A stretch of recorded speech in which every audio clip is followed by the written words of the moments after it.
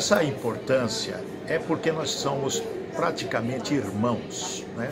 Fronteira, Mato Grosso do Sul, Paraguai, é, a miscigenação das raças juntos, tem brasileiro com paraguaio, paraguai com brasileiro. Então, essa homenagem é para o povo paraguaio e para o povo brasileiro. É justa essa homenagem quando nós vamos trazer aqui é, justamente aqueles que são oriundos do Paraguai e que têm suas raízes aqui no Mato Grosso do Sul. Então é muito importante isso para nós. Estamos aqui para homenageá-los com muito amor, com muito carinho.